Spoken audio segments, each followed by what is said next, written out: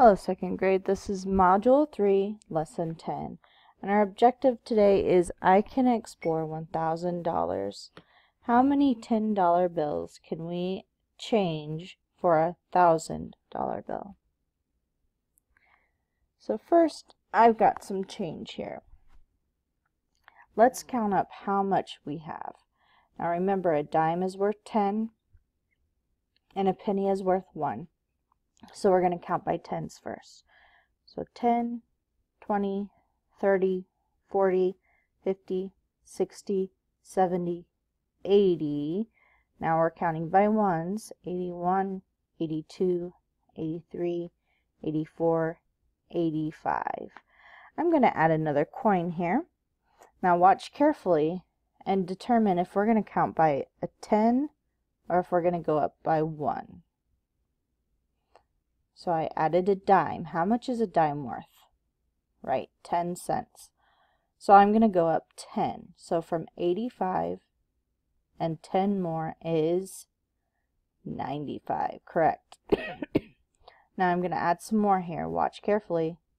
I added a penny. So let's count up one more. 95, 96, 97, 98, 99, 100. So I added my dime there because I had 10 pennies. And if I take all of that away, 100 cents is the same as $1. So I exchanged all of that for $1. Let's continue counting. 100, 101, 102, 103, 104, 105. How much do I have all together now? I have 105 cents. Or you could say that I have $1.05. so we have a story here and we need to answer the question at the end. This story is about Jerry, who is a second grader. He was playing in the attic and found an old dusty trunk. When he opened it, he found things that belonged to his grandfather. There was a cool collection of old coins and bills in an album. One bill was worth one thousand dollars. Wow. Jerry lay down and started daydreaming. He thought about how good it would feel to give as many people as he could a ten dollar bill. He thought about how he felt on his birthday last year when he got a card from his uncle with a ten dollar bill inside.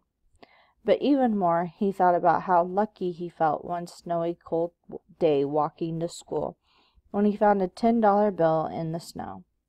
Maybe he could quietly hide the ten dollar bill so that lots of people could feel as lucky as he did on that cold day. He thought to himself, I wonder how many ten dollar bills are equal to a thousand dollar bill. I wonder how many people I could bring a lucky day 2.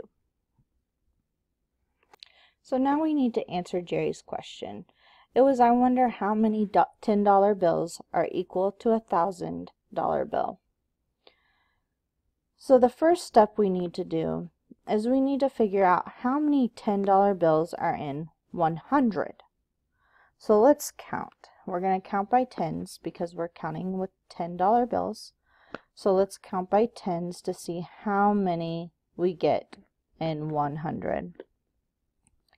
10, 20, 30, 40, 50, 60, 70, 80, 90, 100.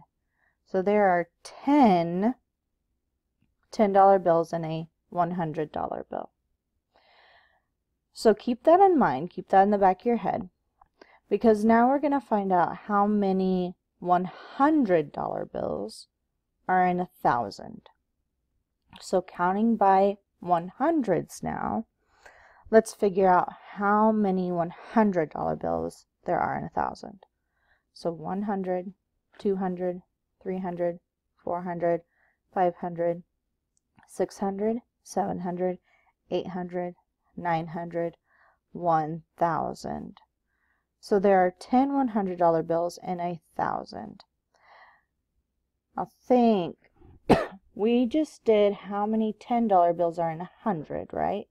And how many were there? Right, there were 10 tens, or 10, 10 $10 bills in a 100. So let's count how many of these tens for each of these 100s there, there will be. So there's tens here. So there's 10 tens here.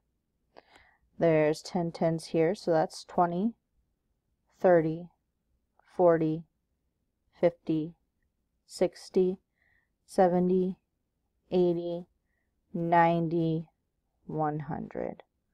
So there are how many tens in a thousand? There are 100.